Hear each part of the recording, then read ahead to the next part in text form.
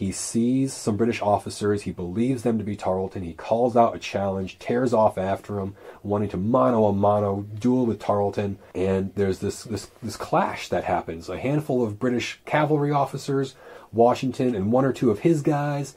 And famously, there's this British officer who's coming in with a saber. He is about to hit Washington when a, a, a young waiter, is how it's first described, a young waiter who did not have strength to wield a sword is described a few different ways by John Howard, a few other um, eyewitnesses. He pulls a pistol, fires it, wounds the British officer, saves Washington's life. You are listening to History Man, the platform for historians, curators, and authors to tell their stories of the American Revolution, walk in the footsteps of heroes, and proclaim freedom reigns. On today's episode, we are with William Caldwell, park ranger of the Over the Mountain Victory National Historic Trail and ranger for cowpens. And uh, so tell me, how long after Kings Mountain did cowpens occur?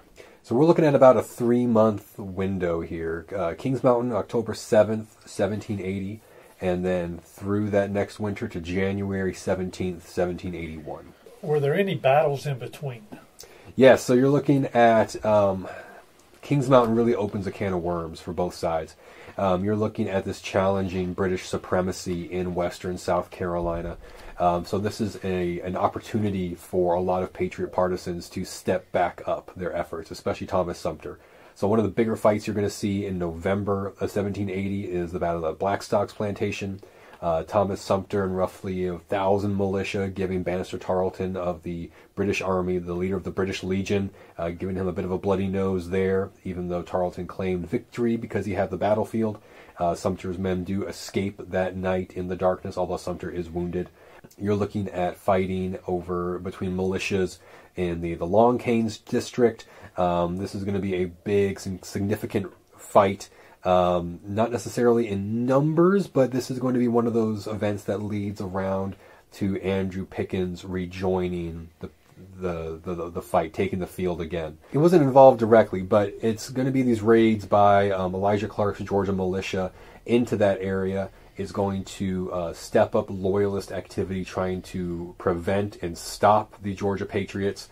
And in one of these raids, looking for Clark and his guys, um, Andrew Pickens's farm is attacked. Now, Pickens had taken the oath of neutrality back in the summer of 1780. Um, the British had taken Charleston. They offered a, uh, a clean slate, full pardon to any militia who um, came back in, took the oath of neutrality, said they were sorry, and Pickens put it to a vote to his men. What did they want to do? Keep up the fight as rebel partisans or take the offer? And they voted for the offer.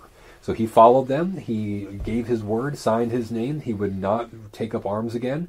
Um, all throughout the fall of 1780, you have both sides trying to court him and convince him to come back and join them, take the field. He is refusing. He gave his word. And then his home is attacked by some of this little militia raiding. And so he views his neutrality as being violated. So, in his mind, giving him the permission that um, clean conscience to take back into the field. That's going to be in December. So he's going to then come back and find Daniel Morgan, uh, American General Daniel Morgan's army, offer his services and his men. You also have battles at uh, Hammond's store in December of 1780, a raid by um, American Continental Cavalry, William Washington, and some militia against more of these Georgia loyalists this time. Um, so a lot of swirling, smaller fights, we could call them, but they are directly connected to this big fight coming. So, what were the cowpens? Let's, let's revisit that. They they are cowpens, Eric. They are. That is literally. It is a. People ask, you know, what was here? Was this a significant crossroads? Was this a, you know, what was there something here that they were fighting for? No, it's literally a cow field. Um, it is fairly open, described as open wood, park pasture with little to no growth in front. So scattered large trees, um, surrounded by swampy areas with cane breaks, a few creeks, uh, these natural features that would kind of keep the cattle from wandering too far when you brought them through. It was located along a fairly well used drover's path, a drover's road heading down towards the Spartanburg area. But it's just a well known cow field in the middle of some swampy ground. How did Daniel Morgan get here?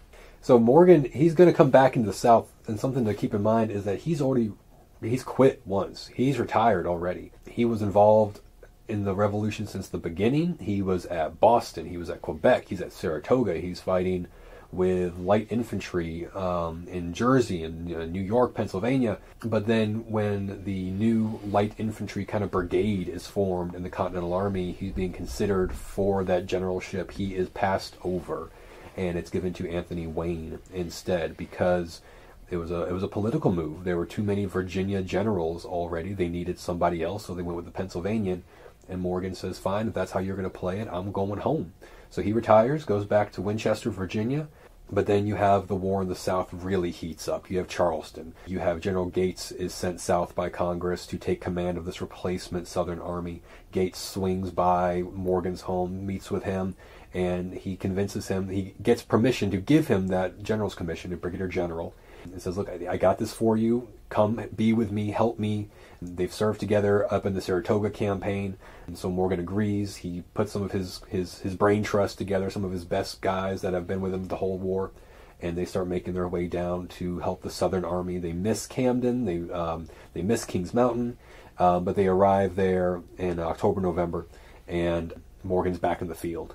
Uh, so his big mission at this point is he's been detached from the main Continental Army. Uh, General Nathaniel Greene is in command in the South now, replacing Gates after Gates' defeat at Camden. And Morgan's kind of mission is to have this elite force of some of the best trained Continental soldiers, guys from the Maryland and Delaware lines. Um, he has this small force, some Virginia Continental cavalry. He has them in the western part of South Carolina, while General Greene and the other, little more than a half, of the Continental Army are going to be over to the east in what's now the area around Cheraw, South Carolina. Greene's idea here is that by splitting the army in two very distinct regions of the state, it will be easier not only to feed them, because they they'd have to feed less men than if they were all combined together, but also kind of distract Cornwallis. Uh, Lord Cornwallis from his winter quarters in Winnsboro he's watching these two forces move around kind of his left and his right side. If he goes for Greene to the right, that leaves his left flank open to Morgan, who could attack 96. If he goes for Morgan on the left flank, that leaves his right side open for Greene to come down towards Camden.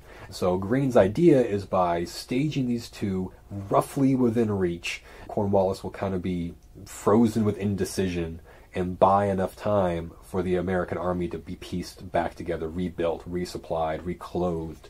Greene is trying to build an army out of the fragments he's inherited. How did we end up at Cowpens again? So Daniel Morgan, he is when he's out here in South Carolina, um, his impact is not so much material as it is mental. Uh, he is showing the people that there is still hope, that the American cause is still alive. Here are some Continental soldiers He's able to coordinate some of the militia actions in the area, just kind of keeping touch with all these different partisans who are now operating. Is this um, his headquarters?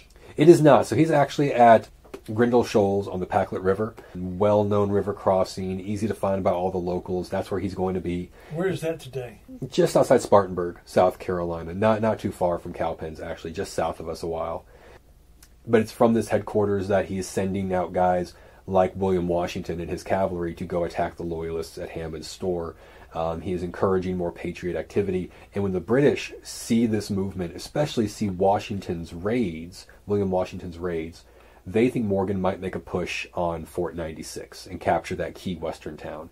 So that gets the British concerned. They send one of their most aggressive young officers, Banastre Tarleton, to either drive Morgan out of the district or catch and defeat him. Either way, get him away from western South Carolina. So when Tarleton begins chasing after Morgan, Morgan begins cautiously falling back, and he falls back and finds this cow field. So, how many Continentals were involved as opposed to militia at this point? Not many. You're looking at Morgan's army with him. Um, the actual Continentals. There's three companies of Maryland troops, one company of Delaware. Grand total, maybe 290, um, less than 300. And then you have Continental Cavalry, the Third Continental Light Dragoons, with William Washington. Only about about 80 of those guys, so a very small force. Now he is joined by some experienced militia, especially Virginia militia, state militia, who have been sent south by their governor. Uh, some of these guys are former Continentals. They had served earlier in the war when the terms were much shorter And so they have that experience, some of that training, but they are technically a militia, but they are professional enough that Morgan uses them like Continentals in the coming battle. How many militia? That's that's the question. Morgan himself does not know. The official report that he sends to Congress after the fight, it records a grand total of 970 men under his command. That is the information that you will see at Cowpens National Battlefield on the large 1932 U.S. monument out front of the visitor center. But if you look at the numbers and the names, you start to notice he's leaving guys off the list. They're not there. Uh, and then you compare this to Banastre Tarleton, his memoirs after the war at one point in the battle, he says he topped over a ridge and saw 1,000 militia, just militia, 1,000 strong. So it's really trying to sort through the other descriptions, the other pension applications, some of the great work done by Dr. Bobby Moss about some of these participants. We believe that Morgan's army grand total may have been 12, 1300 militia coming in anywhere from 16 to 1800 strong. Some estimates go as high as 2000 total. Just the, the fluid nature of the militia. They joined up the evening before the battle. They left after the battle was done that next morning. Um, they didn't stick around really to get, get counted. So it's, it's a bit of a question for how many militia. While you're talking, I'm remi- reminded of the previous episode about Kings Mountain, how you said as they came further south, that people would just come in in twos and dozens and just kind of add to the ranks the closer they got to Ferguson. Right, and this is a problem that's going to plague the British when Tarleton is trying to find out what can he expect from Morgan, because Daniel Morgan he knows the militia won't stay in camp. He, he they are wanting to go home. He can't blame them. They are not staying, they are coming and drawing rations and then they're just leaving again. So rather than try and control this, this mob of men, he just has them stay nearby. Um, and just keep in communication with him. So you have some loyalist spies come back to Tarleton and say, "Oh, Morgan is down the road with 800 men. That's how many they have seen in his actual camp, the Continentals, oh. the state militia." But then other loyalist scouts know all of the other groups who are nearby who are kind of part of Morgan's spider web. And they say, no, there's two, three thousand men under Morgan. So now Tarleton doesn't know who to believe. I've got one guy saying 800, one guy saying 3,000. I don't know what to believe going into the battle. Some militiamen talk about they arrived here the morning the battle was happening and took part in the aftermath. Some guys say they got here as the battle was ending and just helped guard the uh, escort the prisoners and helped with the wounded. You've got some militia. One guy in particular, he was just coming by himself and walked up on a camp in the night, was mistaken for a loyalist and shot and killed. And so his his family is actually going to file a pension application for him, saying he was there trying to help and he was killed by his own guys. Mm. So a lot of different stories about the militia numbers being very fluid. I would think the British numbers, at least through the reports, would probably be a little more spot on. Uh, how many did they bring to the fight? So a little more spot on. The question then becomes when, like, who do you consider? Because you have around 11 to 1200 is the numbers under Banastre Tarl. This is debating if you count about 100 to 150 men left behind as a baggage guard. About a mile and a half down the road, there were um, at least 35 supply wagons traveling with Tarleton's army. This also depends if you count 50 scouts and spies that Tarleton had as his kind of information network that were not involved in the fight, but they were in the rear with his army, took part in some of the aftermath and this being pursued, but they weren't in the fight itself. So roughly 11 to 1200. So you talked about Blackstocks earlier. Blackstocks being where Thomas Sumter at the end of the battle, he was shot and uh, incapacitated or laid up, and it was he was out of the fight for a few months. He certainly didn't make it to this fight, but some of his men did. Correct? And that's yeah, so that's one of the interesting things. Again, not only are militia fluid as far as coming and going, but who they serve under. Um, it's interesting. Some of the officers that you will see listed as serving under James Williams, uh, Edward Lacy, William Hill. Uh, some of these groups are now serving under other officers by this point. Uh, Sumter, like you said, he's still recovering from being shot through the shoulders at Blackstocks. There's a few times that Morgan tries to coordinate with Sumter's men directly sending out officers to gather supplies and men, and they meet with failure, huge failure. One officer in particular, Morgan sends out, and he comes back with nothing, no men, no food, nothing. And Morgan asks him, "What what happened? Where, where is my help?" And the officer has to report to Morgan that Sumter is telling all of his subordinates to not assist Morgan unless Sumter tells him to, uh, unless it is coming from Sumter. Sumter is getting very territorial because he is he, he feels he's being passed over. That Morgan is this this new hotshot general down here trying to command things and take over when Sumter has been the one with a general's commission in the South Carolina militia. He's been the one holding the line for so long, and rather than these guys coming down and helping him, they're coming down and calling the shots, and he's supposed to just fall into line under them. He he's not having it. So not a lot of cooperation from Sumter directly, but a lot of the militia who are close enough to the border area uh, to uh, Andrew Pickens's jurisdiction. They're coming up here under Pickens. Colonels Roebuck, Brandon, John Thomas Jr., Joseph Hays.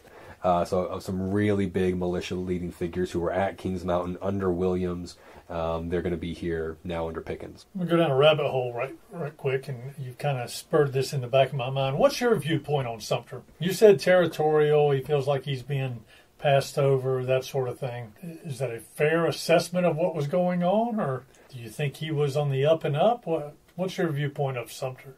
I think he was very focused on the problem in front of him. This is a man who, for a long time, was the only line in the sand. He was the only line of defense between his home, his men's homes, and British victory. And even when they had to flee, even when they had were driven into North Carolina, he kept them together. He kept the fight going. And, and, he's seen service all over the war. He's been at the defense of Charleston. He was on the Cherokee campaign in '76. He's he's been in combat. He knows what good and bad officers look like. So I think potentially he has seen enough bad decisions made that he's extremely cautious to risk his home and his men's homes in the hands of someone that he doesn't know and trust. This is, is kind of reflected in the letter from General Nathaniel Greene He's Sumter is very big on being in command and doing his own thing, but Greene writes to him saying that you know while you're doing is great, you have to follow my command. The letter says that you know partisan strokes are like the garnish on a dinner table. They bring splendor to the officers and the army, but nothing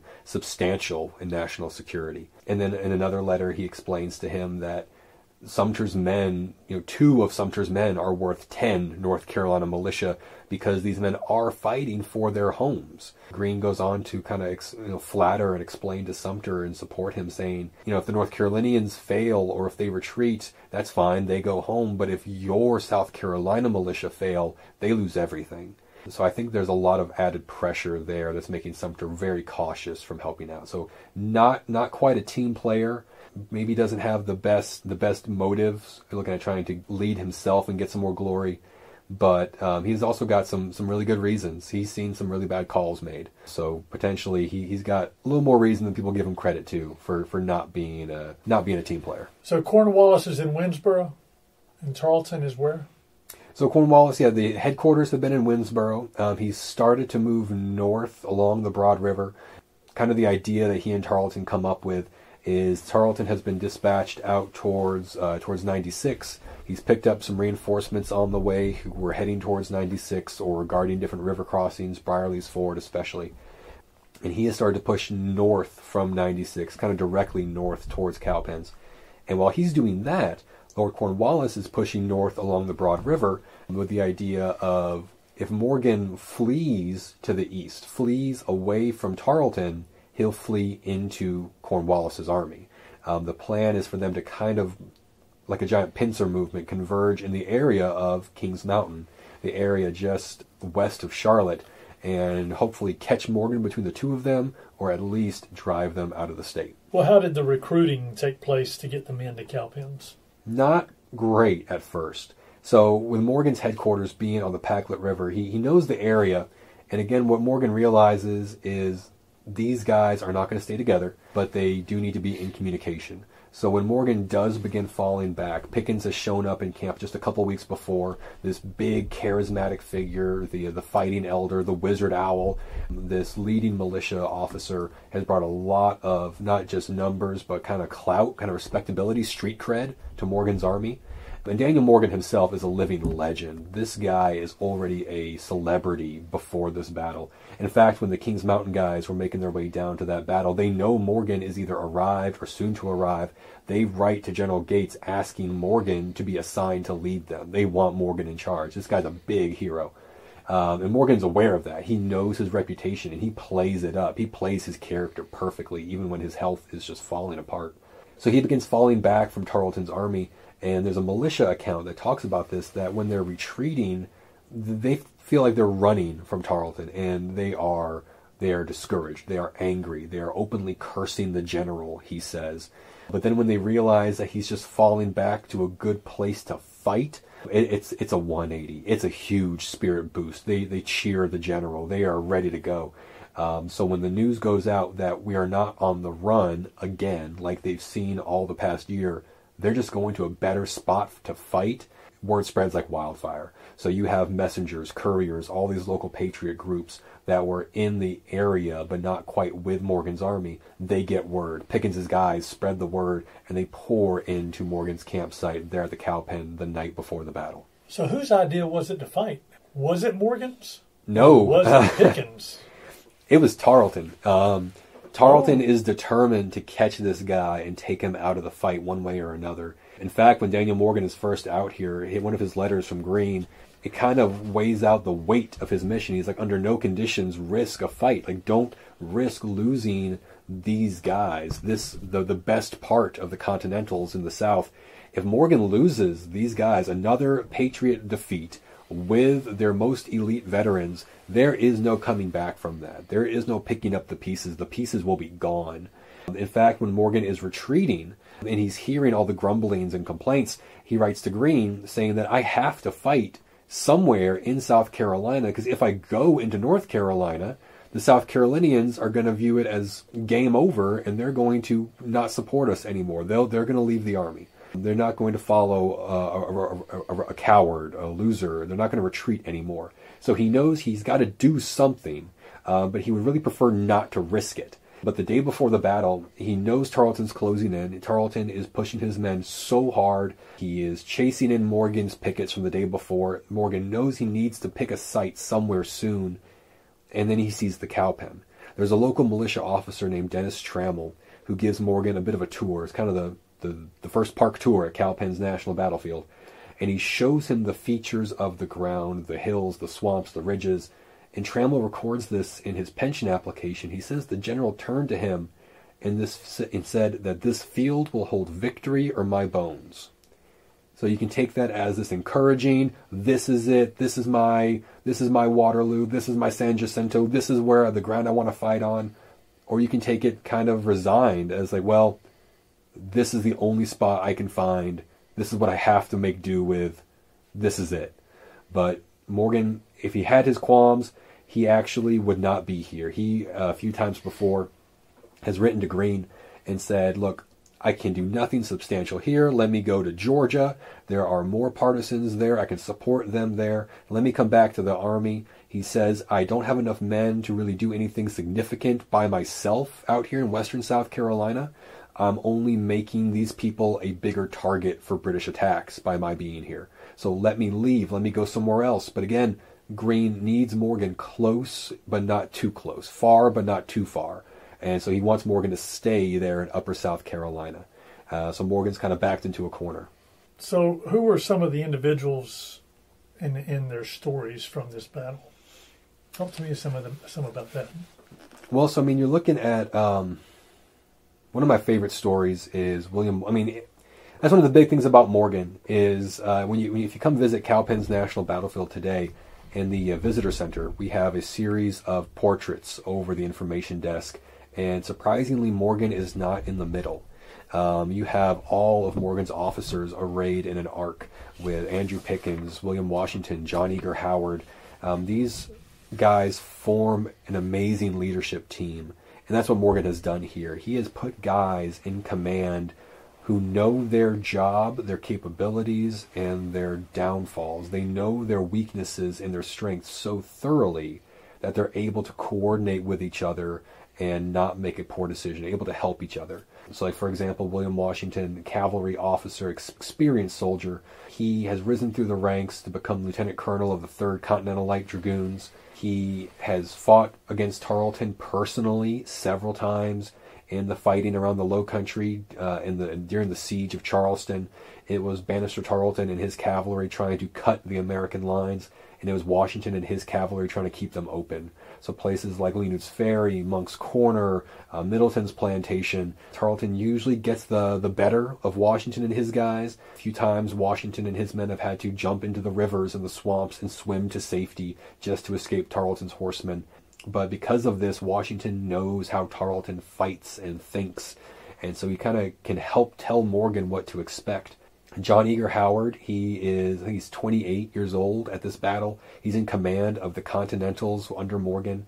This you know young aristocratic kid from Baltimore, very wealthy family in the Baltimore area. There's a story I came across where he actually got into a a fight at Valley Forge on the parade ground in front of the commander in chief.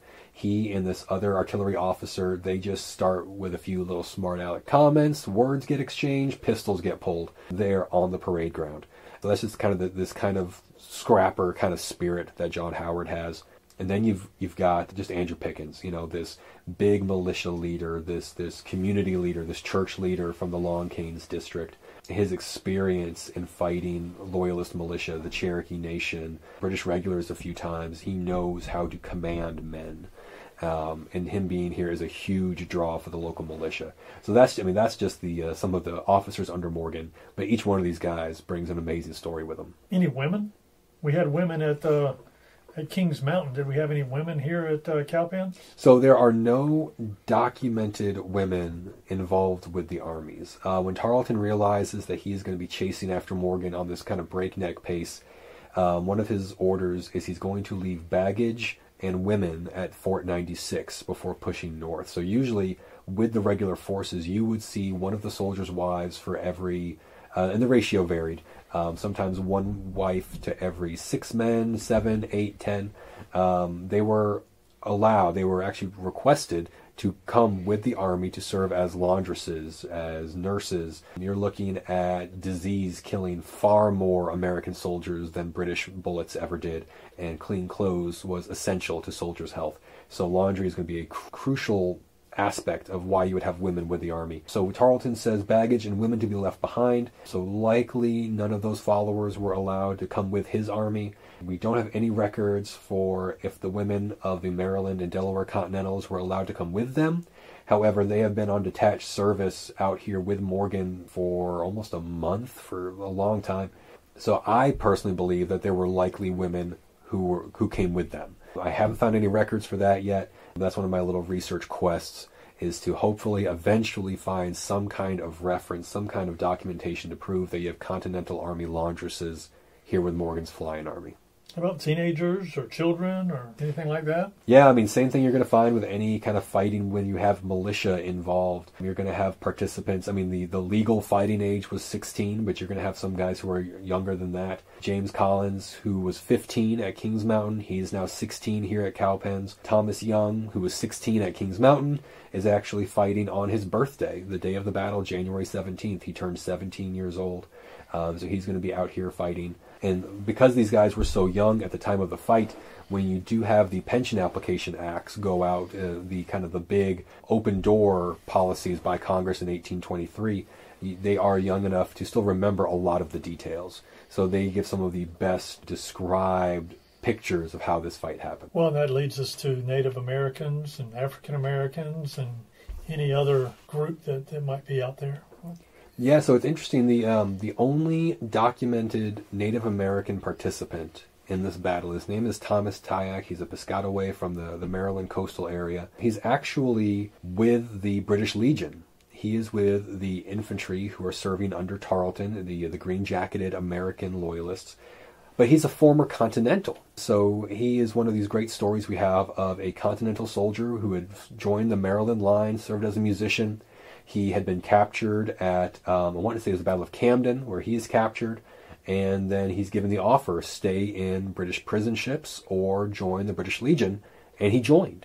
Um, he's with the uh, British infantry at the Battle of Cowpens. He is captured by his old unit and is allowed to rejoin them and serve alongside them the rest of the war. So he is not only the you know a great story by Native American participants, but also this situation that some of these guys were in. Do I want to join the British Legion, join these these provincial regiments, or stay in a British prison ship? As far as the African American participants, there there's several that are recorded. There's a few that are more myth than than uh, truth. But one of the known documented men was uh, Dick Pickens, um, enslaved to Andrew Pickens, who was famously said to have assisted Andrew Pickens throughout the entire war, every campaign, every battle. Dick Pickens was there with him. The story goes that he was allowed to carry this this large kind of like a like a hunting knife on his belt at wherever he went, and he almost had his kind of unofficial authority um, because he was the enslaved man of Andrew Pickens and had seen so many campaigns. He kind of had this kind of respect that he carried with him. And as far as African Americans go, there's this one story you have in the British supply wagons, a mile and a half down the road, you have 70 African Americans there who are actually captured by uh, patriots, patriot militia, and cavalry in the aftermath of the battle. Not a lot is known about these people. We know that they were with the British column. We do not know if they were enslaved or if they had taken the opportunity of the British forces coming through their region to to self emancipate and to regain their freedom by joining the British line. Um, you're looking at this being after the 1779 Philipsburg Proclamation, where Sir Henry Clinton has said any person enslaved by the Patriots will have their freedom if they reach British lines. So potentially these 70 people have taken this chance to follow with Tarleton and help how they can and claim their freedom there.